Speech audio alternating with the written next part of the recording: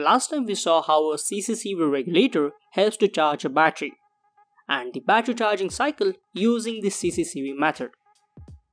Hello guys, this is Foolish Engineer and this time we'll see the control mechanism of a DC to DC converter where we'll see how a converter shifts from constant current sourcing to constant voltage supply or vice versa. And the interesting part is it is all dependent on the basic Ohm's law. And after that, we'll see the simulation of a CCCV regulator. So let's start.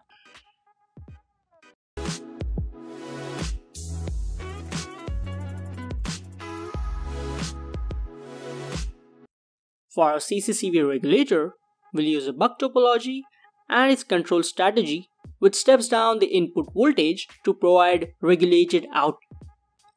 This is the circuit diagram of the buck converter having a MOSFET, diode and an LC filter at the output. The charge controller of this buck converter gives PWM signal to this series pass MOSFET. By controlling the duty cycle of this PWM, we can change the output current as well as output voltage. Just like magic. Let's see the easy CCCV converter where the voltage supply is given at the input so that it will become easier to understand the complex logic of the battery charging algorithm. Well, we need to control the output voltage. To do that, the controller should know the value of the present output voltage, right? So to get that piece of data, we should add a voltage feedback from the output by using a voltage divider of two resistors with reference to common ground. The middle point of this regulator is given as the voltage feedback to the controller. The R1 is the upper resistor and R2 is the lower resistor. This voltage feedback is compared with the reference voltage by a comparator. This comparator acts as an error amplifier. So the constant voltage threshold for our regulator is fixed by this voltage divider. The converter will clip the output voltage to the maximum value where it is designed in this network, even if there is no load. And secondly for current regulation also, we should know about the present value of output current. Well, the required current will not flow through the circuit until and unless we add a load to it. For the application of a CCCV charger, the load will be our battery. Now, we need to take the output current feedback from this converter. So we can take this current feedback by adding a shunt resistor in series with the load current path. When the current flows to the circuit, the signal from the both terminals of the shunt resistor are provided to the error amplifier present in the controller. Again, Ohm's law comes into picture. The voltage drop across the resistor is directly proportional to the current flowing through this circuit. So after measuring the voltage drop across this resistor, we can clearly determine the current flowing through this circuit. This voltage drop is compared by an error amplifier with an integrated low reference voltage. Well, this reference voltage is different from the reference voltage which is used for the voltage regulation. So this resistor decides the value of constant current clamp. In the constant current mode, the current doesn't exceed this programmed limit. So these two error op amps ensure the accurate voltage and current regulation loops. But there should be some synchronization between constant current and constant voltage, right? So the amplified errors of both comparators are odd in the CCCV controller and the resultant signal coming out of it is considered as a reference for the PWM generator which says the switching duty cycle of the series pass MOSFET.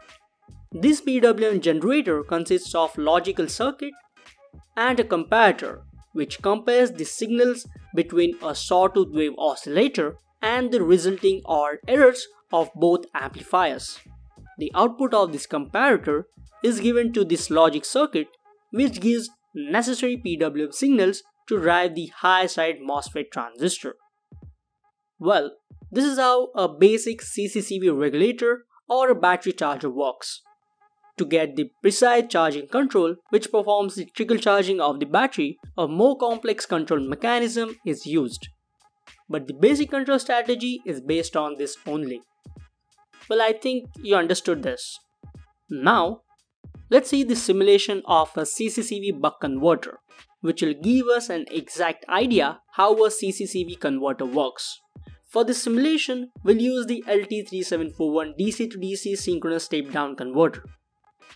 Well, actually it was very easy to do it, that's why I chose it. There is no specific reason for that. A synchronous converter controls two transistor switching elements. So instead of a diode, we use a MOSFET as a second switch. This buck converter consists of two MOSFETs, output inductor and a capacitor. Other peripheral components are necessary for this IC for compensation, switching frequency selection and many more. Which is not important for us right now. The input voltage we have given is 30 volts and we have designed this converter to get 20 volts constant output voltage and 2 ampere constant output current. So no matter what happens, this converter will not exceed these values. Here we have calculated the value of this current sense resistor such that it will not go beyond 2.5 amperes even if there is any change in load. Well, we have done the all calculation of this converter for this required output. R1 is the current sense resistor. This is the filter circuitry to remove the high frequency noise. R4 and R5 is the combination of voltage divider which decides the output voltage. Well, we don't have a battery to simulate this application. So we'll use a load resistor to simulate it as a battery. Initially, we'll simulate our circuit with full load. That means we'll keep the resistance to check whether our circuit is properly working at full load condition. So the load will be of around 10 ohms, which is again by Ohm's law 20 volts upon 2 amperes. Let's simulate this circuit.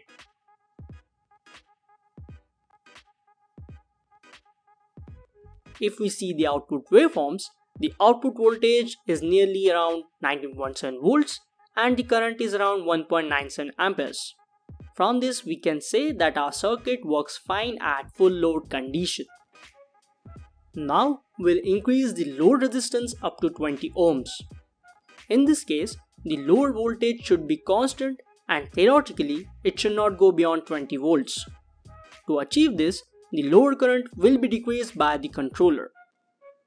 Now if we see the simulation, the voltage is limited up to 19.8 volts only. And to do that, the current is limited up to 990 milliamperes. See, our assumption was right. Ohm's law never disappoints us. To ensure the constant current, we'll decrease the load resistance up to 5 ohms only. In this case, the output current should be constant and theoretically it should not go beyond 2.4 amperes. And to achieve this, the output voltage will be decreased. Now if we see the simulation, the current is limited up to 2.4 amperes and to do that, the voltage is clamped at 12.14 volts. Finally, We'll change the input voltage from 30 volts to 35 volts and keep the resistance at 10 ohms. So here the output voltage should be around 19.7 volts and current should be around 1.97 amperes as per our earlier simulation. Let's see the simulation now. Well, the simulation results are the same, providing 19.7 volts and 1.97 ampere load current. Nice. It's all going according to our plan and calculations. Well, that's how a CCCV converter works as a battery charger. I hope you got all about constant current, constant voltage, a battery charging mechanism, and its basic control algorithm. If you haven't, you can watch the video again. Still, if you don't, you can ask your doubts in the comment box below. Hit the like button if you like this video, subscribe to my channel, and finally, Thanks for watching.